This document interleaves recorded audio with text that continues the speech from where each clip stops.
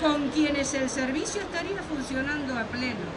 Nos sentimos orgullosos de este hospital. Hace aproximadamente más de un año el servicio de neurocirugía del hospital ha sido prácticamente congelado clausurado como consecuencia de la falta de nombramientos de profesionales en el área de terapia intensiva, que es un área crítica, que por supuesto es absolutamente necesaria para la intervención quirúrgica de los pacientes que se asisten aquí, que son pacientes con patología neurooftalmológica.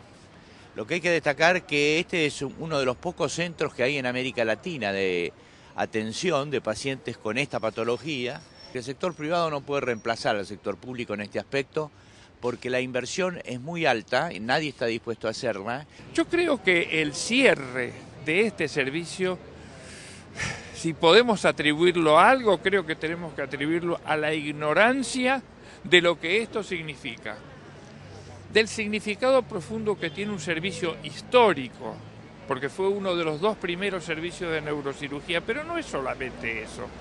Yo lo que más me interesa resaltar es que acá se atienden enfermedades y se adquiere una experiencia enorme en todo lo que sea eh, enfermedades que están detrás de la órbita, pero detrás de los ojos, pero en el cerebro. El Servicio de Neurocirugía de Santa Lucía recibe enfermos de todo el país y no solamente de todas las provincias, aún las más lejanas. Recibe enfermos del exterior, incluso de países vecinos, porque se trata de un servicio único en Sudamérica. Esta política impulsada por el neoliberalismo lleva años. Lleva años que el hospital público total es un hospital para los pobres.